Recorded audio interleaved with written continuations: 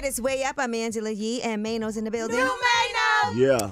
Ooh, and let's get right into it. Meagan Good was on Club Shay Shay. Why are you looking at me like that? Why?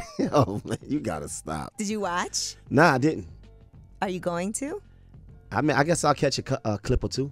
All right, well, here's what you had to say about getting paid what she's worth for the first time. Tyler Perry's the first person who paid me what I should get paid. You know, he said, "How much do you want?" I said, "Let me let me talk to my team." And he said, "Just tell me how much you want." I was like, uh, "Tyler," I said, "Let me just," because I wasn't quite sure what to ask for. And then, um, you know, I was talking to Jonathan, and he was like, "You should ask for this," and I was like. No, I can't ask for that. And I was like, I don't like, you know, it's like, it's almost a mentality. I don't want to lose the job. Right. And so I asked Tyler, and he said, I was going to give you that anyways. All right, well, there you go. Ask for what you are worth and what you expect to get. And you know, you can always negotiate, but that's great that she was able to get that. Um, and here's what she had to say about her divorce. You know, um, and shout out to Meagan Good. She honestly, like, is what, Mano? What? I'm not saying anything. I'm chilling. Uh, well, here's what she had to say about her divorce from DeVon Franklin.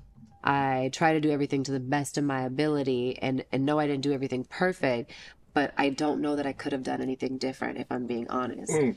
And so I was just like, why is this happening? My greatest fear was for my husband to leave me after 10 years of marriage the way that my dad and my mom separated.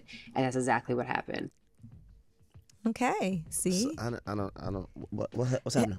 By the way, Divorce in the Black comes out on Friday, tomorrow, tonight, I guess, late night tonight. I watched it already, so I cannot wait to talk about it. Is it a good movie? yes, it My is. You homeboy's legit- in there. Who? Cory Hardrict? Corey. That's right. Okay, well, good. He'll be up here too. But um, shout out to him. He played a different type of role. He was uh, somebody that you would not like in real life in that movie. All right, now talk about Dwyane Wade. He has a new business that he's planning on starting. He was on CBS Mornings, and here's what he had to say.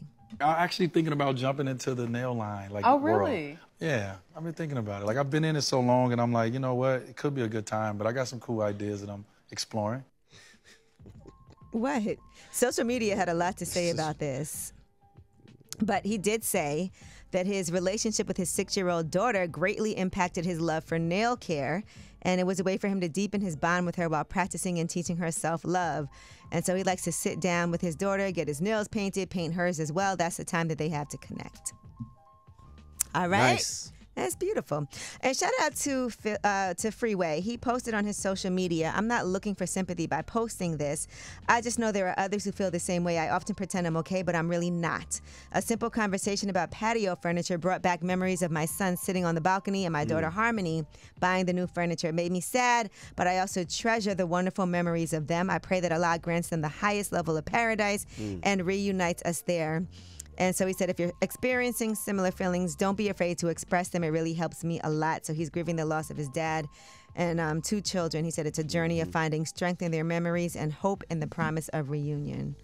Man, that is so sad. Yeah, we love you, Freeway. Word. All right, well, that is your Yeetie. When we come back, we have Under the Radar. These are the stories that are not necessarily in the headlines. They are flying under the radar, but you definitely need to know about them. Uh, it's way up. Way up.